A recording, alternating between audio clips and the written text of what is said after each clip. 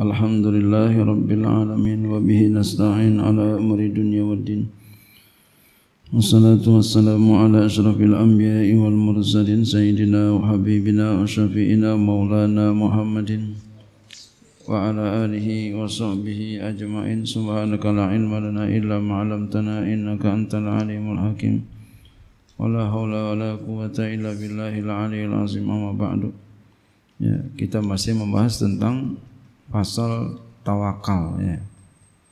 Berserah diri kepada Allah Subhanahu wa taala ya akan urusan kita serahkan nama Allah. Kita ngaji ya, kita belajar. Yang penting kita udah usaha. Udah kita belajar, udah kita apalin ya. Udah kita mutolain, zakarain, takror. Setelah itu kita serahin nama Allah ya kita ujian. Ini kalau kita setiap kali datang ujian semester ya semesteran ya itu nggak usah bingung. Yang penting kita udah belajar dengan keras maksudnya dengan sungguh. Penting itu. Ya penting kita udah belajar dengan sungguh segenap kemampuan kita. Setelah itu pasrahin sama Allah. Hmm. Yang bingung itu kalau kita nggak belajar, artinya kita nggak ada ikhtiar.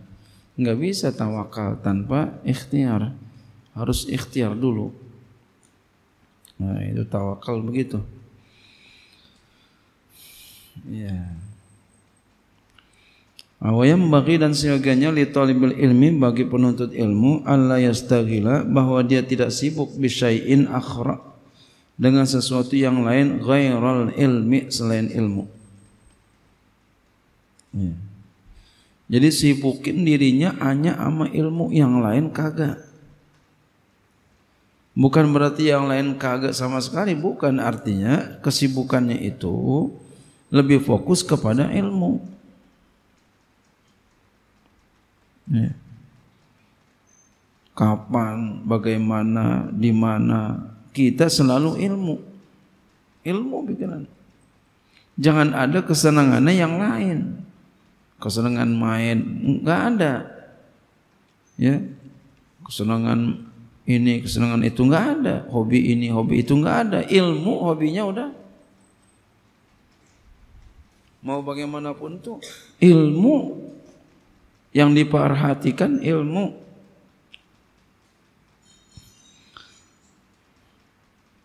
Kalau ada orang kamu digituin umpama, kamu pokoknya urung-urung apa, kamu yang diingetin. Kamu seneng gak sama dia? Seneng banget. Ilmu begitu.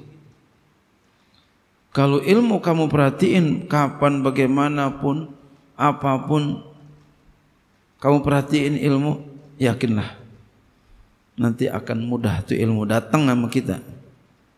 Pahamnya mudah. Hmm. Pahamnya mudah.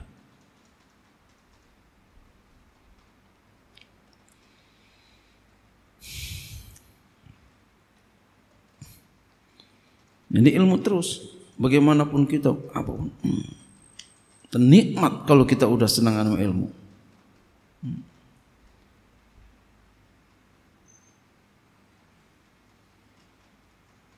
Karena ada orang senang apa? Senang motor motor mulai siang malam motornya dilihatin tuh dimodifikasi ya bangun tidur subuh subuh bangun liatin motor pagi motor siang motor sore motor malam masih motor aja di diamplasin motornya.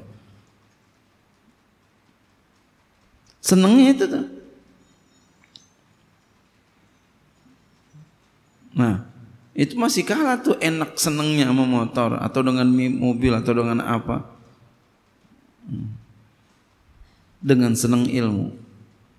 Bangun tidur udah ngeliatin kita pagi siang sore malam ngeliatin kitab. Hmm. diliatin lagi dimutolain lagi biar biar bener-bener gitu. Nggak mau salah lihat keterangan lain seneng itu hmm. saking senengnya itu orang kalau saking senengnya bisa ingat lupa waktu Ya. Senang saking senangnya tuh bisa lupa waktu. Eh ya Allah udah kinari jam kinari. Itu namanya apa? Kita cinta, kita senang. Iya kan begitu. Kita kalau umpama nih, ya ini orang lagi bersukaan, orang bersukaan. Bersukaan bahasa dulu ya.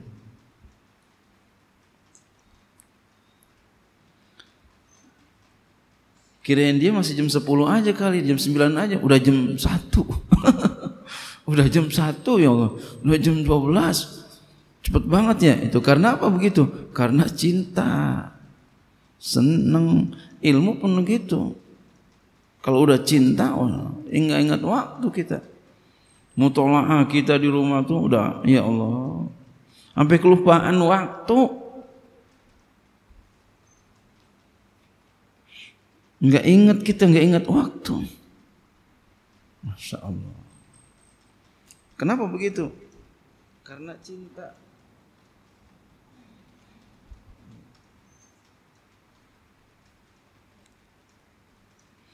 Karena cinta. Iya. Jadi kata beliau, wayam bagi dan seyogianya li talibil ilmi bagi penuntut ilmu alla yastagila bahwa dia tidak sibuk bisyai'in akhara dengan sesuatu yang lain ghairal ilmi selain ilmu. Ilmu aja udah. Jangan ada yang lain. Ya. Ilmu semua hidupnya udah ilmu aja.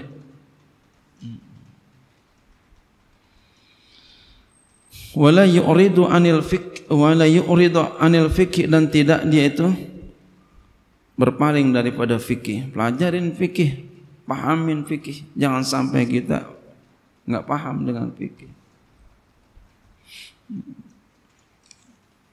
Baca baca baca baca. Pertama kita dalamin mazhab kita dulu syafi'i umama kita dalamin. Terudah lama udah paham baru kita yang lain Qala Muhammad Muhammadun rahimahullah taala berkata oleh ya Syekh Muhammad rahimahullah taala Inna sina'atana hadhihi minal mahdi ilal lahdi. Sesungguhnya kerjaan kami ini dimulai dari ya buayan sampai lahat. Dari baik dari lahir sampai ya, mati. Sampai kuburan lahat itu lubang lahat ya.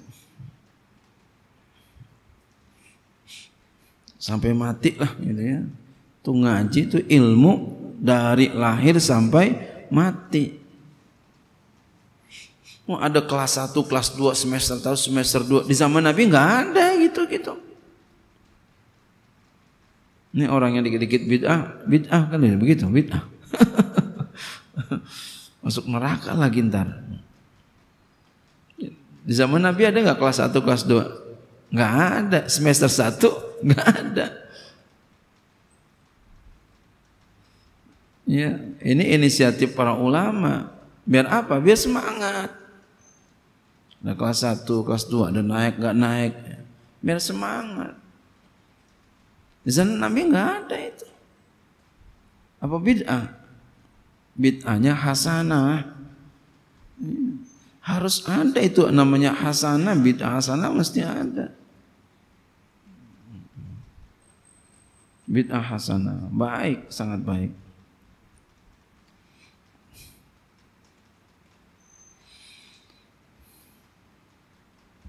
Ya, jadi itu untuk semangat aja ya, untuk semangatnya. Adapun ngaji nggak ada yang namanya ya, batas waktu nggak ada. Ya, sampai mati. Batasnya itu sampai mati. Faman aroda maka siapa yang ingin ayat truka ilmana? Siapa yang ingin meninggalkan ya akan ilmu kami ada ini. Ya. Siapa yang meninggal ingin meninggalkan ilmu kami ini saat dan satu saat aja falyatruk saatu maka hendaklah maka ya hendaklah ya dia ditinggalkan waktu. Maka dia akan ditinggalkan waktu. Falyatsruk husaatu. Maka dia maka waktu akan meninggalkan dia.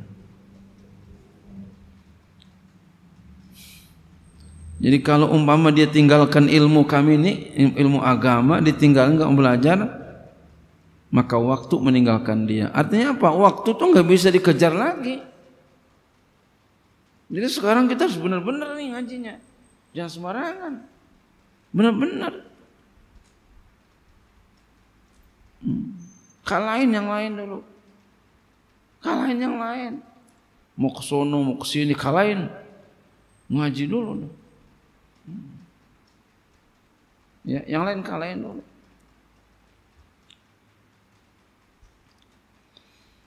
Waktu ini penting. Nggak bisa kita ambil lagi. Kalau duit masih kita bisa cari. Masih bisa kita cari. Tapi kalau waktu nggak bisa.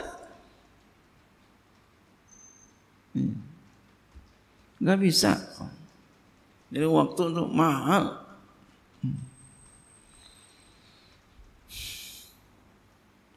Wadakhala fakihun pernah datang selama pernah masuk seorang ahli fikih wahwa Ibrahim bin Jarrah Ibrahim bin Jarrah ala Abi Yusuf kepada Abi Yusuf.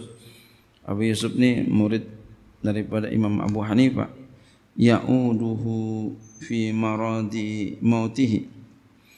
Ia menjenguk ya ia Ibrahim bin Jarrah menjenguk Abu Yusuf fi maradi mauti pada sakit matinya pada sakit yang mendatangkan kematiannya. Jadi sebentar lagi akan meninggal dunia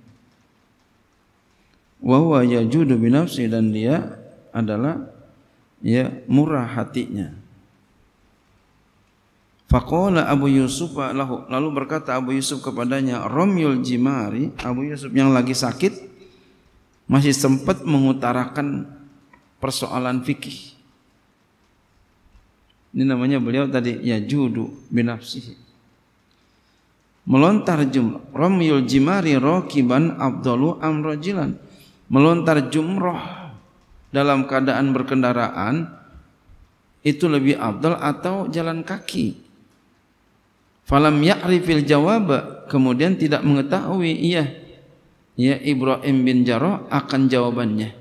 Fa ajaba bi nafsi lalu beliau ya Abi Yusuf ya, Abu Yusuf menjawab dengan dirinya sendiri, dijawab sendiri. Yang nanya, dia yang jawab sendiri. Ya. Wahwa dan dia itu anna ramya masyian ahabbu fil awalaini anna ramya bahwasanya melontar dalam keadaan berjalan kaki abu itu lebih disuka fil awalaini pada dua yang pertama jumratul ula jumratul usta. Itu. Adapun jumratul aqaba itu yang ketiga ya itu yang paling abdal adalah berkendaraan Ini apa? Beliau walaupun udah mau meninggal ya walaupun udah mau meninggal tapi masih bahas masalah fikih. Masya Allah. Ayo, mana yang lebih abdul nanya. Jadi Abu Yusuf nanya kepada ya Ibrahim bin Jarrah, mana yang lebih abdul? Melontar ya sambil berjalan kaki atau sambil berkendaraan. Padahal lagi sakit, padahal sakitnya itu parah yang mau meninggal. Tapi beliau masih sempat-sempat mengutarakan tentang masalah fikih. Masih sempat-sempat mikirin masalah fikih. Subhanallah. Yeah.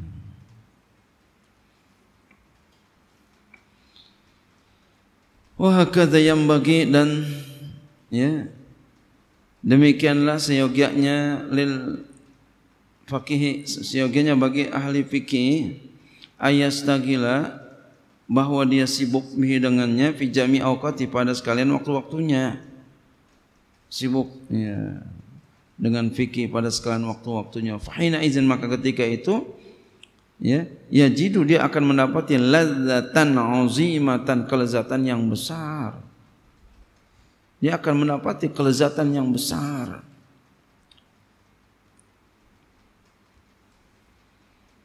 Dalamnya fikih. Senangnya pikir. Wakila dan dikatakan ru'iyya Muhammadun fil manami ba'da wafatihi telah dilihat. Ya. Muhammad Syekh Muhammad dalam mimpi ba'da wafati setelah wafatnya faqila lahu. Lalu ditanya kepadanya kaifa kunta fi halil fi halin naz'i? Bagaimana keadaan engkau pada ketika dicabut ruh ya Faqala dia menjawab kuntu muta'ammilan fi mas'alatin min masailil mukatabi. Aku sedang merenungkan tentang masalah daripada beberapa mas, beberapa masalah ya budak mukatab. Jadi meninggalnya lagi mikirin tentang budak mukatab. Bagaimana nih? Subhanallah. Meninggalnya lagi mikirin tentang permasalahan fikih budak mukatab. Artinya apa nih? Setiap waktu mikirin tentang ilmu gitu. Jangan sampai kita meninggal dunia dalam keadaan nauzubillah summa nauzubillah min zalim. Karena memang orang meninggal itu bagaimana kebiasaannya kebiasaannya ngaji insya Allah meninggal lagi ngaji. Kebiasaannya untuk ilmu ngajar. Baik.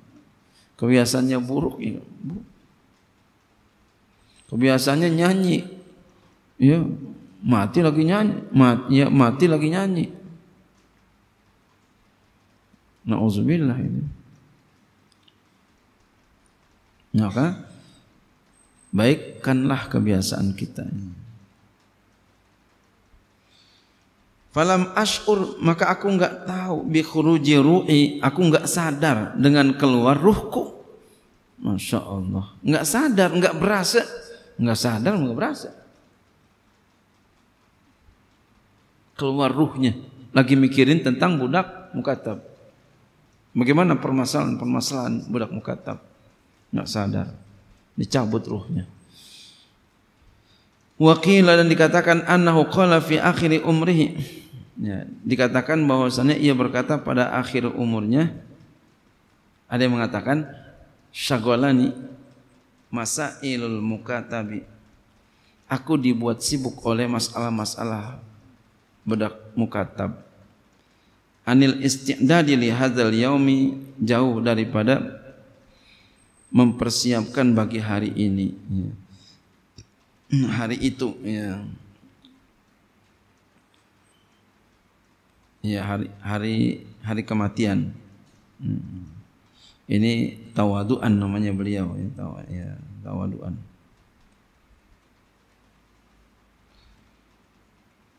Wa inna maqala zalika tawaduan hanya saja beliau mengatakan itu karena tawadu. Insyaallah. Wallahu a'lam bissawab.